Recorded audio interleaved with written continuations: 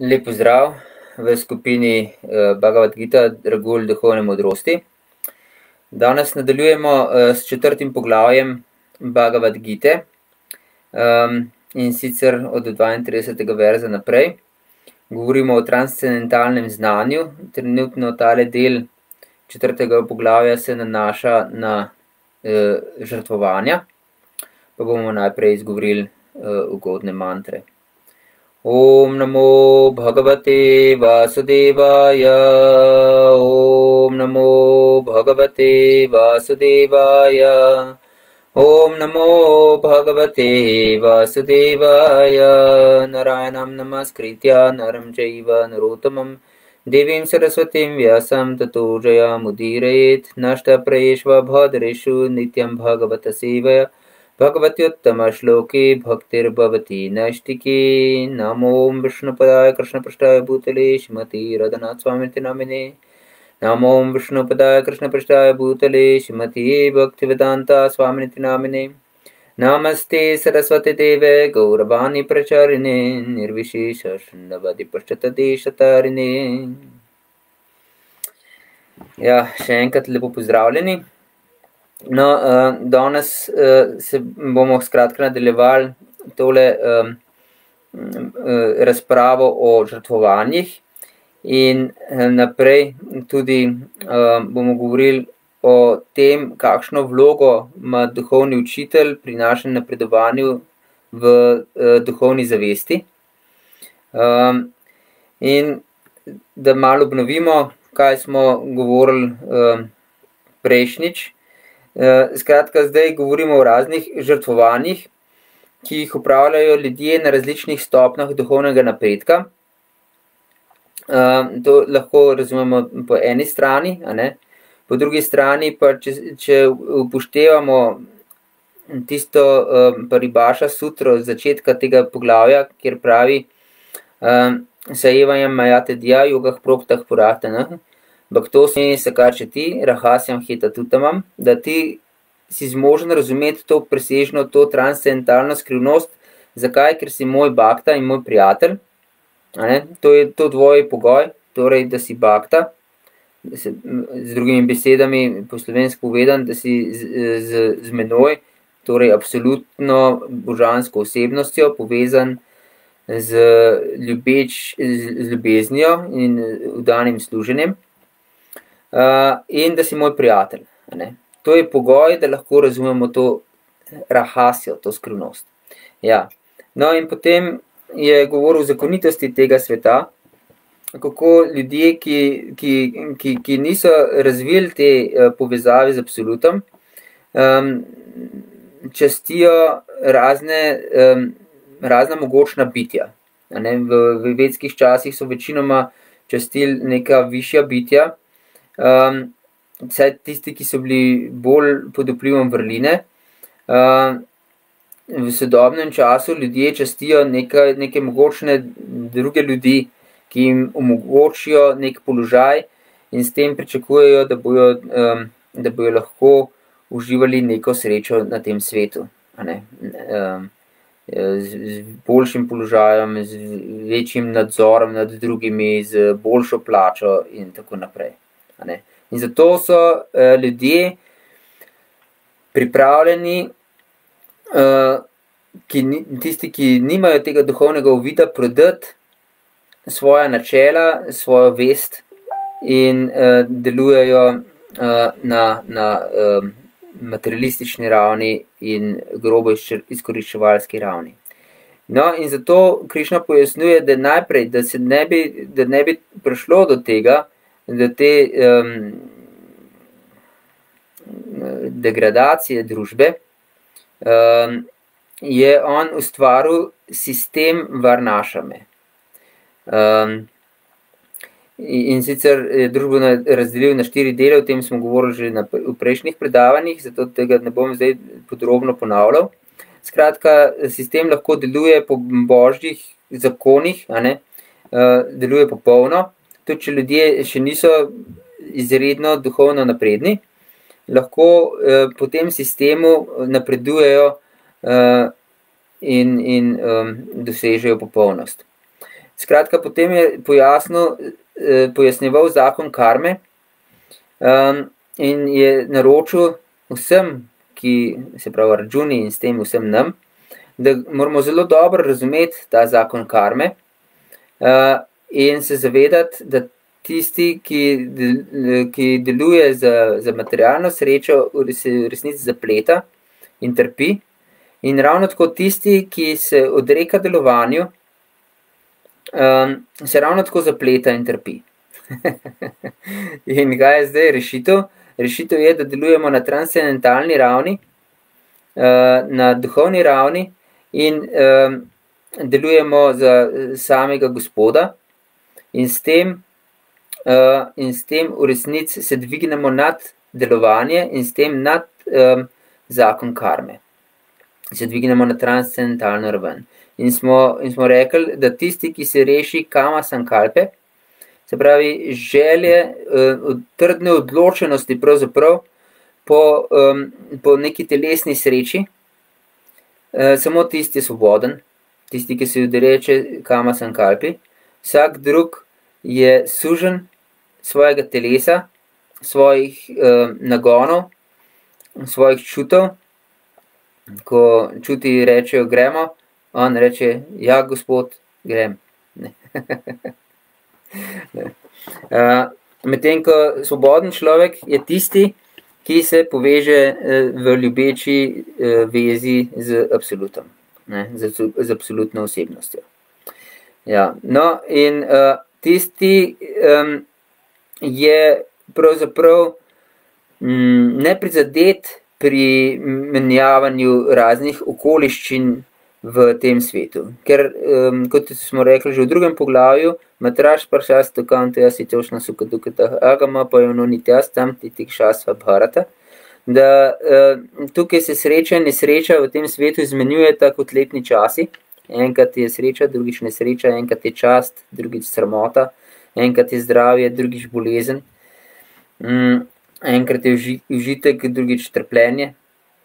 Uh, skratka, in oboje, tako eno plat, kot drugo plat medalje, se mora uh, duhovno prebujen človek naučiti mirno prenašati. Ne? ne samo tiste neugodne okoliščine, ki mu uh, neušečne okoliščine, ki mu prenašajo neko trpljenje, ampak tudi tiste okoliščine, ki, uh, ki si jih navadni ljudje želijo, ne? se pravi, ki prinašajo nek, ne, nek užitek, neko veselje, neko, neko kukar radost. Ampak tudi to se mora modr človek naučiti mirno prenašati. Edino, po čemer modr človek hrpeni, je po tem ljubečem stiku z absolutom. Um, ker samo to nas zares zadovolji, zares zadovolji srce, ker mi smo duhovno bitje. In nimamo nič skupnega z, z materialnim telesom. Materialno telo je samo uh, nek vrtinec uh, materialnih elementov, ki se ne nehno, in to grobih in subtilnih materialnih elementov, ki, ki se ne nehno v bistvu uh, obnavlja, ne? mi vnašamo osnovi van v ta vrtinec in na eni strani, po drugi strani jih odplavljamo iz tega vrtinca in ga tako ohranjamo pri življenju. Ampak kot vsak drug vrtinec, se tudi ta vrtinec na koncu izčrpa in um, usahne. Uh, tako tudi ta naš materialni vrtinec uh, ravno tako usahne. Tako, ja. No, in um, potem smo govorili naprej o raznih žrtvovanjih, ker brez žrtvovanj, kot tukaj pravi, kdor ne upravlja žrtvovan, ne more biti srečen ne v tem, ne v naslednjem življenju. Um, zakaj ne more biti srečen? Zato, ker edino ljubezen je tista, ki, um, po kateri hrpeni vsako živo bitje. To je naša temeljna potreba, je ljubiti in biti ljubljen. In ljubiti še bolj, kot biti ljubljen. Um, Zakaj? Zato, ker samo v odnosu je sreča, eh, v, v, v ljubečem odnosu je sreča. Um, in kaj pomeni ljubeč odnos, kaj pomeni ljubezen? Ljubezen pomeni služiti. Ne? Ljubiti pomeni služiti. Ker, eh, to pomeni neustavljivo željo, da bi, da bi osrečil nekoga, ki ga imaš rad. Ne? To pomeni ljubiti. Um, neustavljivo privlačnost do tega uh, človeka, uh, oziroma do tega bitja, karkoli že je. Ne? Uh, neustavljivo privlačnost in željo potem, da bi ga usrečil. To je tvoja edina misel, to je prava ljubezen. Uh, torej, ljubiti pomeni služiti. In samo to prenaša srečo. um, recimo, če vzamemo za primer, da bi nekdo imel vse, kar si želi materialnega na tem svetu. Najboljše avtomobile, m, privatna letala, um, gradove, posesti mo na morju, v hribih, um, na ravninah, vse posod, cel svet njegov. E, in vse, kar si zaželi. Ampak predstavljamo si, da smo mi teli, um, vele, vele, vele bogataši, ampak da smo edini na svetu. To je, ni, ne bi bilo večje muke od tega. Um, skratka, noben užitek nam ne bi nič pomenil, ker nimamo nikogar, s katerim bi to lahko delili. Če bi nek ptiček preletel, bi nam pomenil več kot vse drugo na svetu, ker s tistim ptičkom bi lahko izmenjevali nek, nek odnos, bi lahko vzpostavili nek odnos. Torej je ljubezen tista, po kateri hrpeni naše srce, v resnici. Ampak dokler imamo toliko konkurence za neko uživanje v tem svetu, uh, pozabimo, velikrat pozab, ljudje pozabijo na to, da je, da je ljubezen edini smisel življenja. Ne? Ampak ne minljiva ljubezen. Minljiva ljubezen je norost, ne? ne obstaja v resnici. Uh, edina prava ljubezen je z absolutno božansko osebnostjo ta ljubezen um, nam prinaša večno zadovoljstvo, nikoli ne mine, ne mine z našim telesom, ne mine z ničimer, ne mine. Nič je ne more uničiti, ne?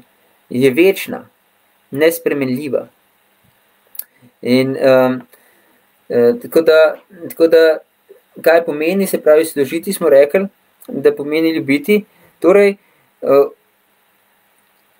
služiti pomeni, da, da mi naredimo, da gremo nekaj iz sebe, naredimo nekaj za nekoga, eh, da se žrtvujemo. In to je žrtvovanje. Se pravi, da naredimo nekaj več, eh, kot je, da stopimo iz lagodja ven, ne? kot se temu reče, iz, iz cone lagodja. Uh, za primer lahko povem, hm, se verjetno ste brali ali pa slišali uh, zgodbo mm, o sovzicah od prežihovega voranca. Jaz se to, eh, sem to bral še v osnovni šoli, ampak se mi je eh, globoko tisnilo v srce. Uh, pa mogoče sem že jaz vam tudi še povedal, ampak neč hudega, če še enkrat. no, skratka, kakorkoli že. Um, Prežihov voranc je bil še mehen otrok in je um, bliz tam, kjer je živo, na deželi, jasno, eh, bila ena taka globel, eh, ki so ji rekli peku. Ne, in eh, on se je grozen bal tiste globeli, um, tistega pekla. In, in, ampak samo v tistem peklu so takrat, ko si je on zamislil, da bi mamo obdrval z, z sozicami, to so šmarnice. E, tam, samo v tistem peklu so rasle. No, in on je eno nekega jutra je um, tekel, kot so ga noge nesle v tisti peku, e, še pred sončnim vzhodom, in se ni oziral ne levo, ne desno od same groze, in, in, in je pretekel na dno tega pekla, in uh, na trgu uh, velike, velik šopek teh, teh sovzic in tekel spet nazaj, kot so ga noge nesle ven iz pekla. in ki je tekel proti domu, uh, je mama ravno takrat stopila na hišni prak in jo je vzhajajoče sonce jo je obžarelo. Uh, in takrat je bila zanj božansko lepa, mama. In je pretekel tja, vsa zadihan, vse zadihan, in je, um, in je podaril šopek teh sovzic. In mama je bila čist ganjena, ker je vedela, um, da se on grozen boji pekla in da so sovzice rasle samo v peklu v tistem času. Uh, no, to je žrtvovanje. To je žrtvovanje. Se pravi, da, da, da je ta želja potem, da bi usrečili tistega, ki ga imamo res radi, močnejša od, uh, od, od, našega, uh, od naše želje po lagodnosti. To je, to je žrtvovanje. No, in tle obstajajo različna žrtvovanja, ampak je en, Eh, od, od eh, žrtvovanja materialnega imetja, od žrtvovanja celo za, za, za zadovoljstvo pol bogov in tako naprej. Ampak um, potem diha v vzdi, izdih in tako naprej. Uh, ampak tukaj je pomemben vers, uh, ki smo ga zadnjič prebrali. Sarva pijete jaga vido, jaga kšapita kalmaša, jaga šištam ta bučo, janti brama sanatanam. In sicer pravi, da vsi, ki upravljajo ta žrtvovanje in poznajo njihov cilj, končni cilj, se očistijo posledic grehov. Ko okusijo nektar sadov žrtvovanja, dosežejo vrhovno večno prebivališče. In kaj je ta končni cilj? To bomo zvedeli še poznaj, potem v Bhagavad Giti če se vrnemo na tisto paribaša sutra iz tega začetka tega poglavja, kdo lahko razume to? Samo Bhakta in gospodov prijatelj in nihče drug. Se pravi, končni cilj je vzpostaviti to, to ljubečo vez z absolutom. Vse je namenjeno gospodomu zadovoljstvu. To se moramo zavedati. Bog oziroma absolut, je edini uživalec. Nismo mi uživalec, nič ni namenjen našemu uživanju. Mi smo v materialnem svetu samo zato, ker živimo v iluziji, da, je, uh, da so stvari okrog nas namenjene našemu uživanju. Niso. namenjene so božjemu uživanju samo božjemu uživanju, izključno božjemu uživanju, nič našemu, niti mal. uh, niti uh, za sekundo. Uh, če imamo ta koncept, da je namenjen mojemu uživanju, potem trpimo, potem smo sužni. Ne? Zato, ker ni namenjen našemu uživanju. In to Krišna večkrat pove. Um, Recimo v devetem poglavju Bhagavad Gita pravi: Aham hi sarva jagya nam bhokta cha prabhurevača, natumam abhijananti tatve nataščevantiti. Se pravi, aham hi sarva jagya nam bhokta cha prabhurevača. Jaz sem vsekakor um, gospodar in uživalec vseh žrtvovanj in askeze. Ne? Uh, ne? In tisti, ki tega ne vedo, ta tvenataš, če vam ti te, tisti, ki ne poznajo te resnice v meni, padejo. Ampak ne zato, ker bi jih Bog v svojem besu nekam vrgel v peku, ne? zdaj se pa cvri za vse večne čase, ker si pozabil, da sem jaz veliki uživalec ne? Um, in si hotel ti uživati moje, kar je pripada meni. to je naš koncept. Mi imamo tak koncept v sebi. Aha, jaz sem zdaj gospodar in če kdo hoče meni kaj vzeti, uh, se mu maščujem, ga kaznujem. Ne, to je, to je materialistični koncept um, in pojmovanje, um, ki, ki, ki projiciramo uh, na, na, na, na transcendenco. Uh, če imamo ta koncept, da mi hočemo kaj uživati, da ne vemo, da je vse božjemu užitku namenjeno, potem se sami pahnemo v peku. Se pravi, materialni svet. Materialni svet je pekel, pravzaprav. To Krišna tudi na večjih koncih pravi. To je duhkala, ima šaša tam. Se pravi, je poln nesreče in, in, in, in začasen. In v tem devetem poglavju naprej pravi, anitjam asukam. Se pravi, anitjam se pravi, ni večen, asukam ni srečen. Dvakrat isto z drugimi besedami. Uh, pojasni. Skratka, in kaj so ta vrata, ki vodijo v materialni svet, kamah kroda sta tala obes. Da smat eta trejem tjađet, to je v 16. poglavju pravi. Se pravi, to so vrata, ki vodijo v ta materialni svet, so kama, kroda in loba. Kama je poželenje, se pravi, eh, da skušamo uživati svet na telesni ravni, grobi ali subtilni telesni ravni. Kroda je jeza, ker zmeraj znova ugotovijo, da me ne moramo uživati, ne. zmeraj nam kdo prepreči to.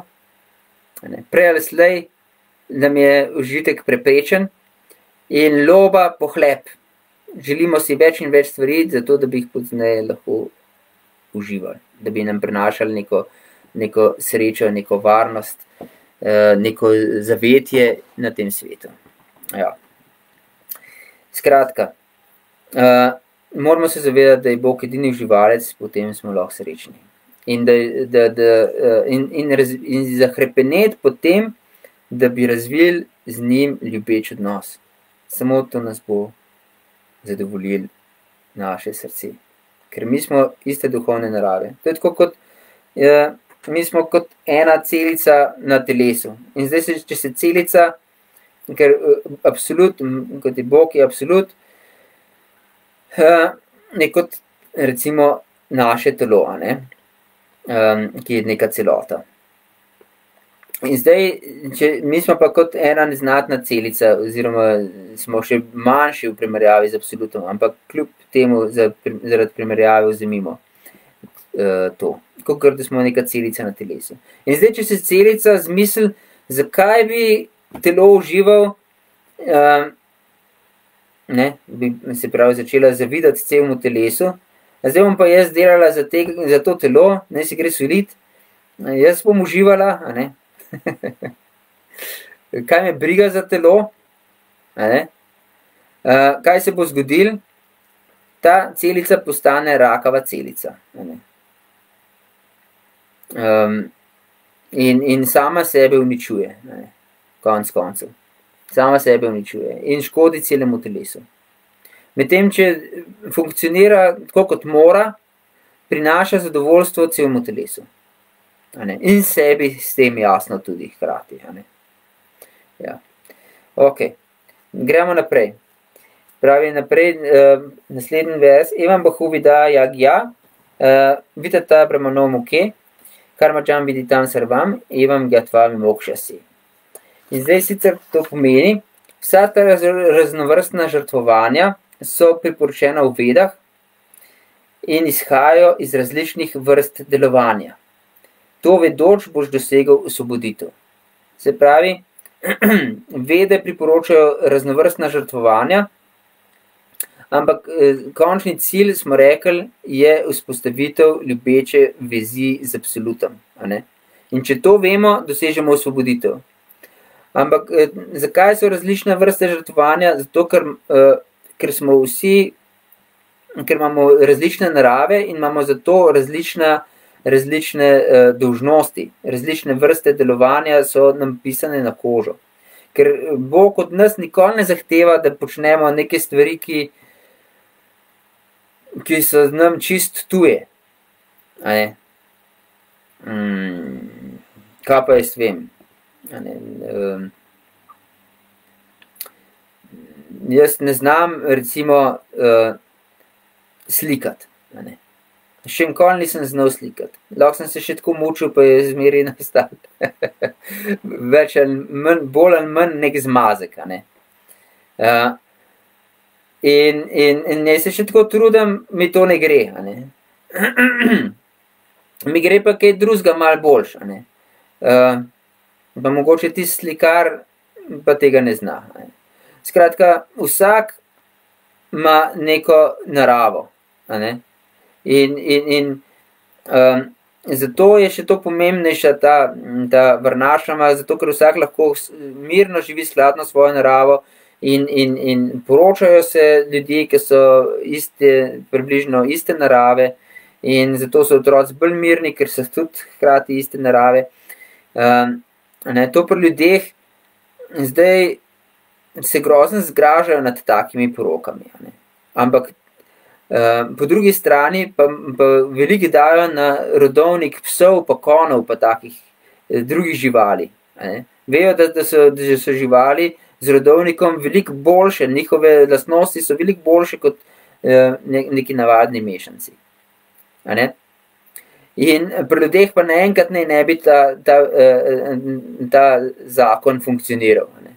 Jasno, da pri ljudeh ravno tako funkcionira. Ne?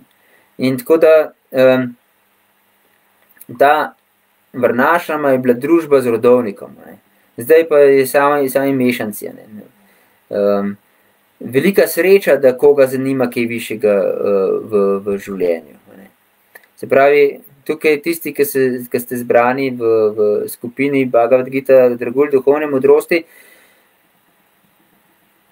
nič vam ne piham na dušo, ne? ampak res je, da vsak, ki ga zanima neka duhovna popolnost, je cvet družbe. Ta je sicer cvet, cvetober, pravzaprav najboljši v družbi. A ne? Zato, ker, um, zato, ker uh, stremi k nečemu najvišjemu. a ne. Vsak, ki ga ne zanima uh, duhovnost, ki ga ne zanima, eh, kako dvigati svojo zavest na transcendentalno raven, še ni prišel do človeške ravni.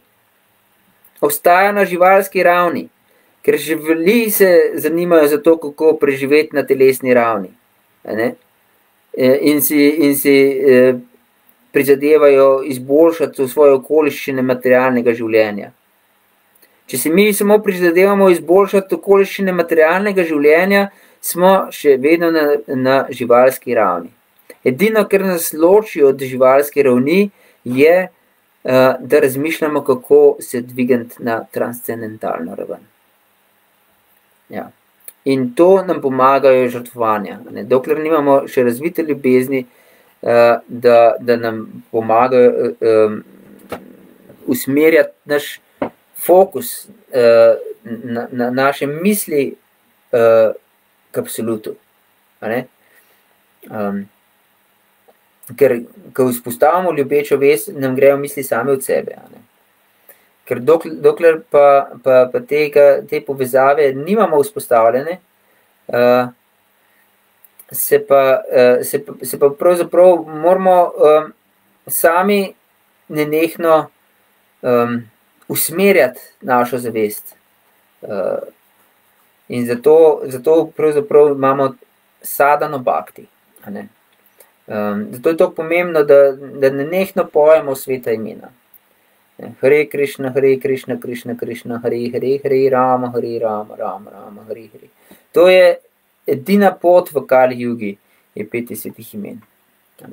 In, in to, ta redna praksa, uh, redno, uh, redna duhovna vaja, pravzaprav nas povezuje z, z absolutom. ne. Um, ok. In potem tukaj pravi v naslednjem verzu, pravi Šran Drama Jad Jagjač, Jag Jag Jag Gjana Jag Jag Parantapa, Sarvan Karma Kilam Parta, Gjani Parisamapjati. In sicer to pomeni, da um, cilj vseh teh žrtvenih dejavnosti je doseči transcendentalno znanje. Se pravi, zmagovalec nad sovražniki, žrtvovanje upravljeno znanjem je boljše od žrtvovanja materialnega imetja. a ne. ker zdaj prej smo govorili, da eh, žrtvujejo nekateri tudi materialno imetje in tako naprej. Uh, in, in, in, in, in, in predmete čutne zaznave in druge reči. Uh, zakaj je žrtvovanje upravljeno znanjem boljše od žrtvovanja materialnega imetja? Zato, ker je namen vseh žrtvenih dejavnosti doseči transcendentalno znanje. In transcendentalno znanje pa pomeni razvit ljubeč odnos z absolutom. To pomeni transcendentalno znanje. Aha, super, imamo neko vprašanje. Še druge vabim, da, da sprot pišete vprašanja, ker pa na koncu eh, je, je tako zoprn čakati, če bi kdo kaj vprašal. Tako da najboljše, da sprot sprašujete. Uh, Aljaš sprašuje, kakšna je pa utemeljitev, da je uh, Mahamantra bolj ustrezna za duhovni napredek v tej dobi kot pa druge mantre? Aha, uh, super vprašanje. Uh, ja, v vedah obstaja nešteto raznih mantr. Ne? Na milijone mantr. In zdaj med temi mantrami je uh, znana ena kot Maha mantra. Maha pomeni velika mantra, tako kot imamo recimo Mahatma, Mahatma Gandhi. Ne? To največ ljudi pozna. To pomeni, Mahatma pomeni velika duša. No, in ta Maha mantra je velika mantra. In zdaj um, uh, za druge mantre, je značilno, da jih moramo izgovarjati v določenih okoliščinah, eh, pod določenimi pogoji, v čistem stanju, eh, tako da nas noben ne sliši v mislih, eh, obrnjeni v določeno smer neba, v določenem času in tako naprej. Razno vrstni pogoji so. Prejeti jih moramo po, po nekem guruju, da, da dobijo šakti, mislim, da, da nam odklene se šakti za nas, šakti teh mantr, se pravi moč teh mantr. Medtem ko za maha mantro, še tega ne velja. Je popolnoma transcendentalna in uh, je, se ne razlikuje od samega Boga, od samega absoluta. Zato, ker vsebuje uh, najbolj zaupna božja imena, in se ne razlikuje od samega Boga in ima neskončno moč. Ne? In ni važno, ne v katerem delu dneva izgovarjamo, ne na katerem kraju. Lahko smo na stranišču, lahko smo v templu, lahko smo v avtu, lahko smo doma, um, lahko smo sami, lahko smo z baktami, lahko pojemo v mislih, lahko pojemo na glas, lahko um, izgovarjamo potihem lahko med kuhanjem, lahko med čiščenjem, lahko med spanjem, lahko med hranjenjem, kadarkoli, 24 ur na dan. In izmer ima absolutno moč, ne glede na kakršno koli stanje in materialne okoliščine. Ja. Uh, izgovarjamo to mantro. Ta maha mantra je sam Krišna, je sam Bog. In kot sem prej rekel, da vse namenjeno njegovemu užitku, njegovemu zadovoljstvu. Uh, torej, se moramo zavedati, da je tudi uh, torej, namenjen vse zadovoljstvo te, te mantre. se pravi, mi smo namenjeni zadovoljstvu te mantre. Moramo se zavedati, da ni mantra namenjena našemu zadovoljstvu, da, da bi pričakovali, da zdaj mantramo, moramo biti mi zadovoljni. Ne, moramo obrniti ta koncept. To je materialističen koncept. Moramo obrniti ta koncept. Moramo se zavedati, mi smo namenjeni zadovoljstvu te mantre. Um, moji bližnji so namenjeni zadovoljstvu te mantre. In jaz jim moram služiti na ta način, da se bojo povezali, da bojo služili tej, man, tej mantri. Razumemo to? Ja. No, uh, zato je ta uh, mantra ne samo v tej dobi, ampak v vseh dobah je najvišja mantra. in najvišji postopek pravzaprav. Ampak v drugi dobi um, so mislili, da je to prelahko in zato niso bili usposobljeni za, za, za Harinam, za Božje ime. V tej dobi, ko smo nesposobni za kakršen koli drug postopek, za drugo duhovno pot, um, uh, je, je Hari nam edina rešitev. Harir nama, harir nama, harir nama iva kevalam, kalau nastjeva, nastjeva, nastjeva, gatira ne ta. Da v tej dobi kali ni druge poti, ni druge poti, ni druge poti, kot je petje svetih imen, petje svetih imen, petje svetih imen. Ja.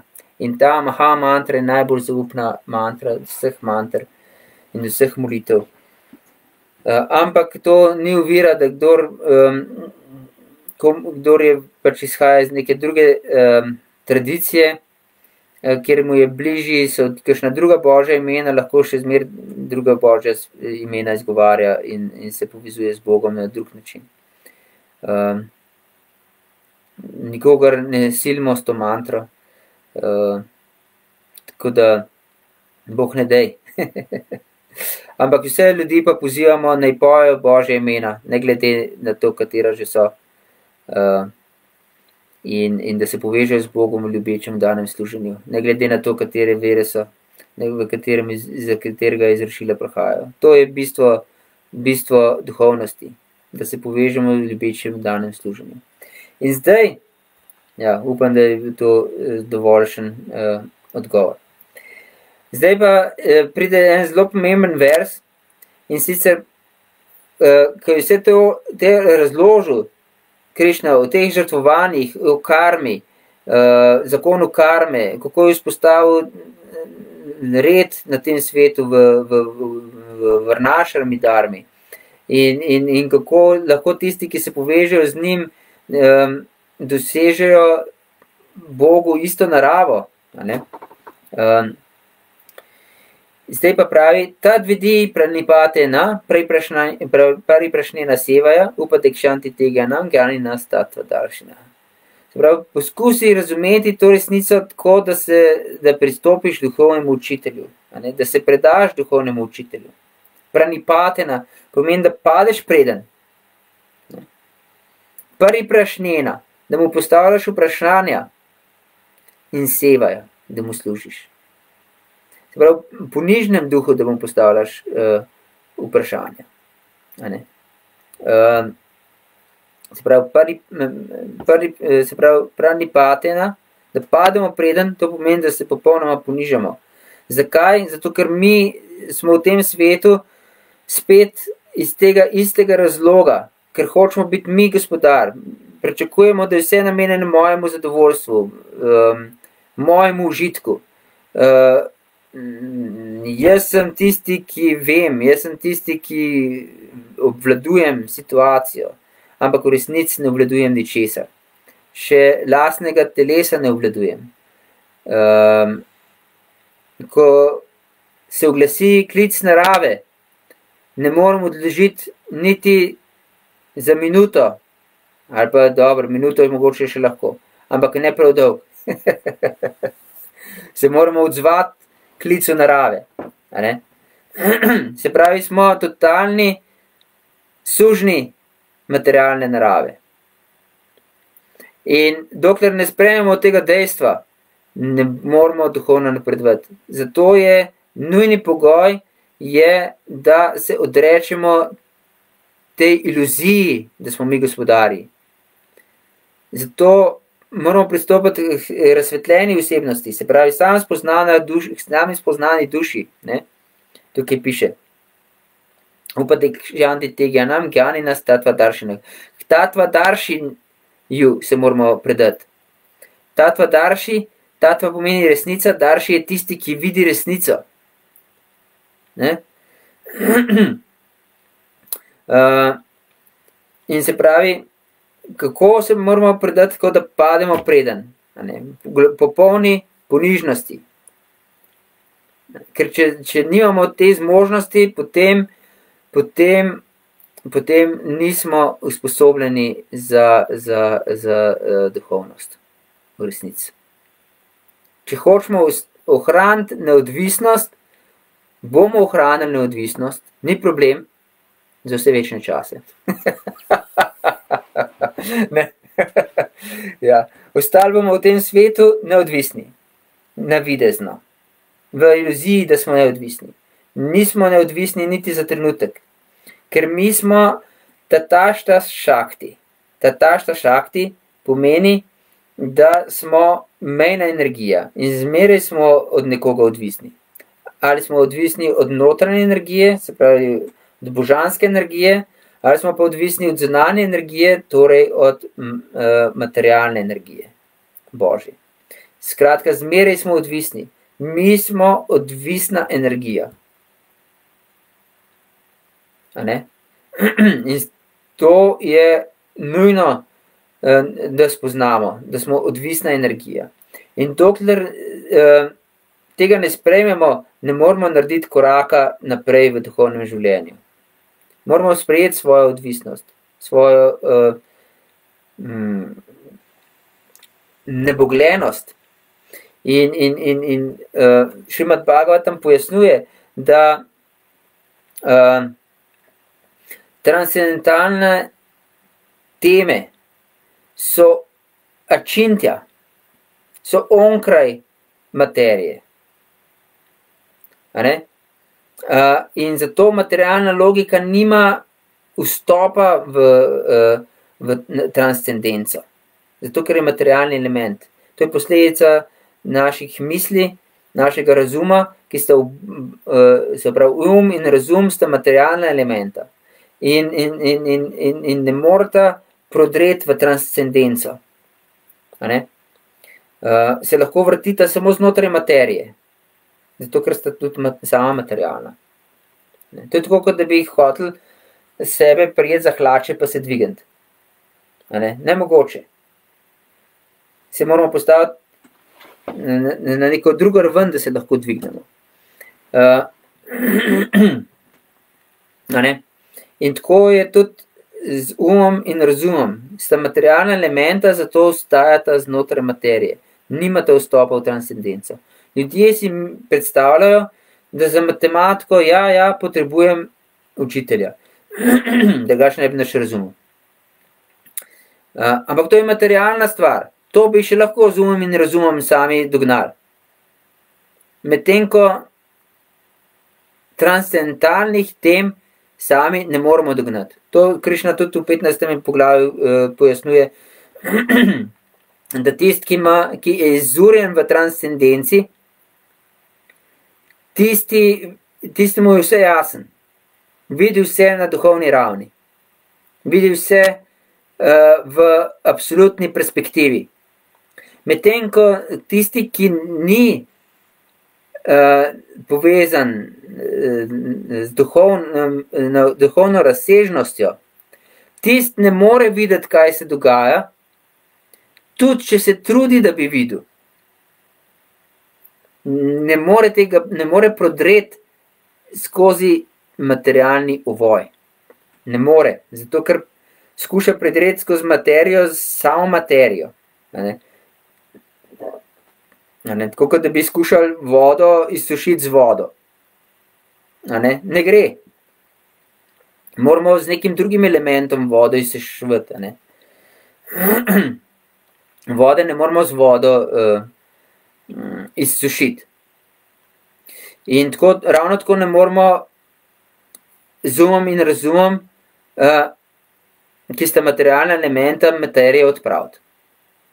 Nemogoče. Zato rabimo milost transcendence.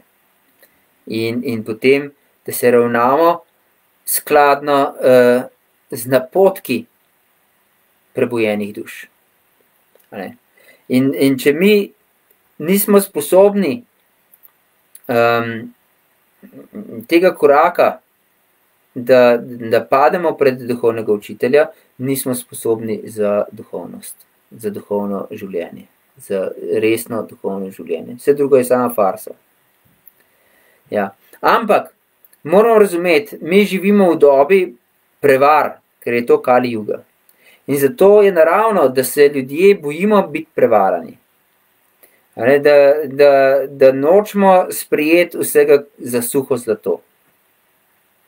In zato je, in to tudi vedno naročam, da ta to brama džigjasa. Zdaj je čas za poizvedovanje o, o, o, o, absolutni resnici. Uh, se pravi, vede ne zagovarjajo um, uh, pasivnosti v duhovnosti, ne zagovarjajo leno, duhovne lenobe, ampak zahtevajo od nas um, duhovno čuječnost, če se tako izrazim. Uh, skratka, zahtevajo od nas duhovno raziskovanje zahtevajo od nas, da postanemo duhovni znanstveniki. Ne, da, da, da, uh, preden se predamo duhovnemu učitelju, se moramo prepričati, da je on ta tvadarši. Se moramo prepričati, da on živi skladno z načeli Bhagavad Gita, kakršna je. Da on živi skladno z drugimi uh, temeljnimi spisi, kot je Šimad Bhagavatam. A on slavi gospoda non-stop, a je povezan z absolutom uh, v ljubečem danem služenju. A, a je, on je služabnik uh, drugega učitelja v, v tej uh, nasledstvu čistih bakt. Če vse te pogoje izpolnjuje in, in, in živi po, po, po, nauku, po Krišnjevem nauku in, in, in, in, in uh, ljubeče v dano služi gospodu, in uh, je zaljubljen v gospoda, v absolut. uh, in je ta tvadarši, se pravi, deluje tudi skladno z zgledom svetnikov iz preteklosti, potem je verodostojen. Potem je vreden, da mu predamo svoje življenje. Ok. Upam, da je to razumljivo. Uh, to, po mojem, je tema, ki bi lahko odprla kakšno vprašanje. Tako da um, bi kar prosil, če, eh, če pišete vprašanja, da bo, bo, da bo malo bolj živahna ta eh, razprava, da ne bo samo enosmerna. ja. Ok, skratka, zato nam lahko take, take razsvetljene duše uh, lahko posredujejo res transcendentalno znanje. Uh, kako, Marcel sprašuje, super, kako pridobiti možnost, da pademo uh, pred duhovnega učitelja? Kako pridobiti to zmožnost? Aha. Ja, super vprašanje. Edin pogoj je, ki ga opisuje um, Šimad Bhagavatam, Uh, sam Krišna pravi, jadričaja matka tado, džata šrada stojah poman, na nirvino nati sakto, bhakti jogos jasidida. In to pomeni, uh, tisti, ki je tako ali drugače, jadričaja je zanimiva beseda, ki pomeni um, tako ali drugače, Bog ve kako, na nek način. Eh, prišel do vere v um, teme o Bogu. Se pravi, ko se pogovarjamo o Bogu, da, da, da človek verjame v besede Šimad Bhagavatama in, in, in Bhagavad Gita in svetega pisma in, in tako naprej. Se pravi, v, v, v besede svetih spisov da razvijamo vero v besede svetih spisov. To tako ali drugače, na nek način. Um, in se ravnamo skladno s tem, imamo željo razviti uh, ljubeč odnos z, z Bogom. To je edina, edina, edin pogoj, da, da lahko zares uh, začnemo poizvedovati pri duhovnem učitelju da iščemo drugo bakt in duhovnega učitelja. Ja, tako. Se pravi, da, da nekako razvijamo vero v, v besede uh, Krišne in o Krišni. Kako pa prepoznamo našega pravega duhovnega učitelja?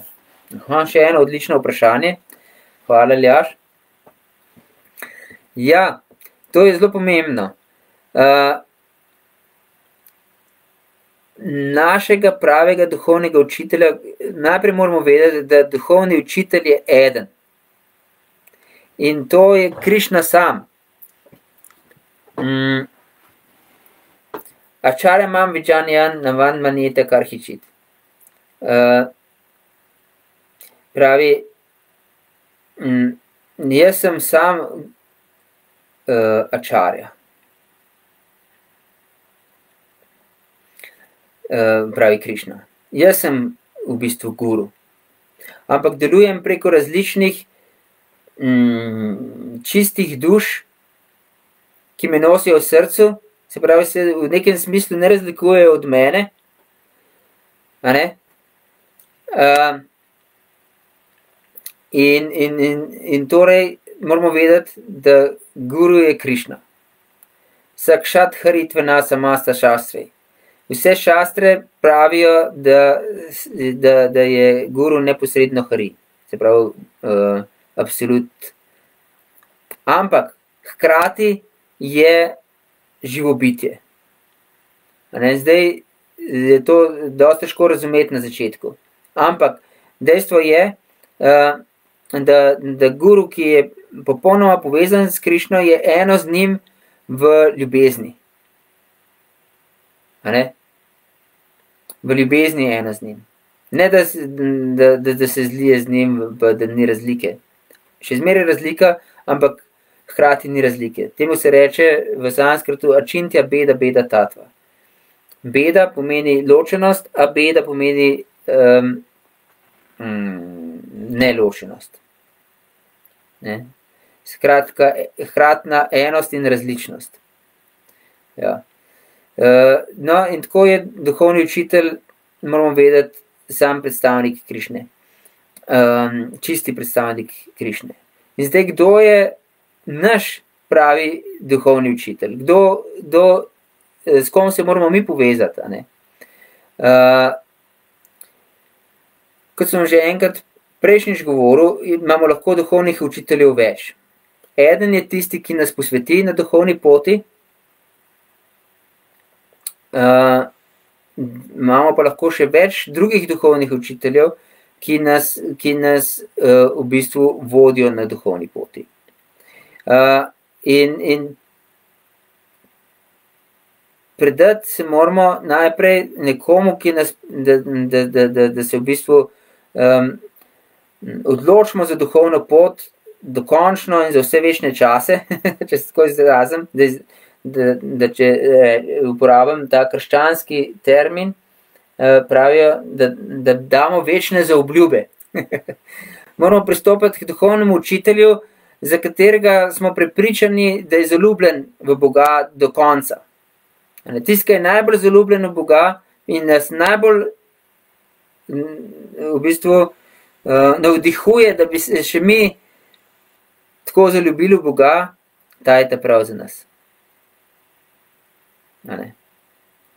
Ki nam, ki nam razodeva um, transcendentalno znanje v srcu.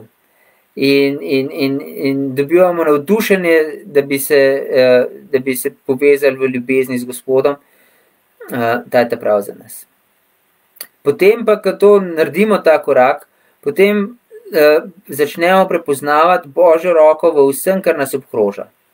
Nas, nas Bog vodi v vsem, in v naravnih pojavih. Ne? Vidimo oblak, lahko razmišljamo o Bogu. Um, kako, kako, uh, na različne načine lahko. Nas oblak lahko spominja na Gospoda. Tako kot sonce izpiri vodo in nas prekrije oblak. Ne? tako iz Boga, uh, iz Božje energije, nastane tudi materialni svet, ki nas prekrije, da ne vidimo Boga. en primer. Potem lahko nas učijo ptice neba, živali na zemlji, uh, ribe v vodi, vse, kar vidimo, vse, kar leze in gre. Uh, je lahko tudi naš duhovni učitelj. Ne, moder je tisti, ki zna pobrati uh, dragulj tudi na smetišču. Ne. Ja. Ok. Uh, imamo še vprašanje uh, Leje Uršič. Uh, ali lahko rečemo, da imamo duhovnega učitelja iz nasledstva šele, ko nas on sam prepozna in označi kot učenca oziroma inicira, kaj torej v praksi pomeni, da imamo učitelja. Hare Krišna.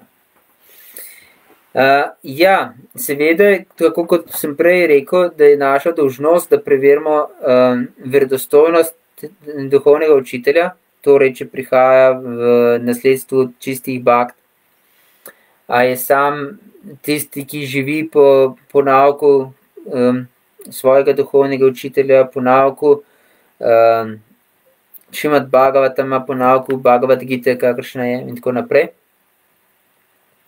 Uh, in če je res zaljubljen v Boga, ne, če razmišlja samo o Bogu, če nam navdihuje, da tudi se mi zaljubimo v Boga. Uh, ja, uh, tako je tudi učiteljeva dožnost, da preveri svojega učenca in njegovo iskrenost. Ne. Zato se zna zgoditi, da guru um, včasih preizkusi učence tudi na tak način, da prever, koliko mu je pomemben njegov um, ego. se pravi, mu stopi na rep, kot se temu reče. Um, to je nekako naloga duhovnega učitelja, da preveri iskrenost svojega učenca. Ne. In če je učenec užaljen za vsako figo, um, pa ni pripravljen za duhovno pot. Duhovna pot pomeni odreči se laži. In laž je to, da smo mi um, pomembni. to je laž, to je iluzija, to je norost. Ne. Mi smo popolnoma neznatni. Mi smo anu, se temu reče v sanskrtu. Anu pomeni skrajno, skrajno, neskončno neznatni. Ne? In Bog je vibu skrajno, skrajno, neskončno, neskončen. In to je skrajna, eh, skrajni razkorak v tem smislu. Ampak kljub temu razkoraku je pa največji čudež to, da mi lahko vzpostavimo um, popoln, zadovoljujoč, ljubeč odnos z absolutom. Um, ampak moramo se zavedati svojega naravnega položaja. Čim imamo to logiko, kaj bo kdo o meni govoril, za koga nas pa ima, kdo pa misli, da je, uh, potem ohranjamo to svojo materialistično zavest, da, da smo, um, uh, hočemo ohranjati svojo neodvisnost, hočemo ohraniti svojo materialistično čast in ostajamo v tej dvojnosti, sreča in nesreča, čast, sramota, um, ugled, eh, sramota. Skratka, ohranjamo to materialno dvojnost. In dokler smo navezani na to materialno dvojnost, eh, ne moramo narediti koraka naprej. Moramo se zavedati, da, eh, da nas ta materialna dvojnost, da je smrt, prinaša samo smrt, nič drugega, samo smrt prinaša. In če se mi uklepamo te dvojnosti, pomeni, da se uklepamo smrti. Ne. Ok. Uh, to, s tem pomembnim verzom bomo tudi sklenili današnje predavanje. Uh, zdaj, če ima kdo še kakšno vprašanje, naj ga hitro napiše. Uh, naslednjič uh, se bomo posvetili uh, še nek, enim verzom, ki so tako zelo zanimivi, ki, ki poučujejo um, ki govorijo o tem, kaj, kako, kaj se zgodi, ko prejmemo duhovno znanje od duhovnega učitelja. Uh, in mogoče bomo celo končali uh, četrto poglavje naslednjič. Bomo videli, čeprav dvomim, ker, uh, ker se kar uh, ustavimo pri vezih, ker imajo globok pomen. Okay. Torej, za enkrat vprašanj ni, če bo kdo še kaj hotel vprašati, um, čez ta teden in če bom videl vprašanje, bom uh, skušal odgovoriti. Najlepša hvala za vašo pozornost. Eh, vesel sem, da smo bili spet skupaj, pa vas vabim naslednji četrtek ob osmih spet na predavanje iz Bhagavad Gita. Lepo zdrav, Hare Krishna.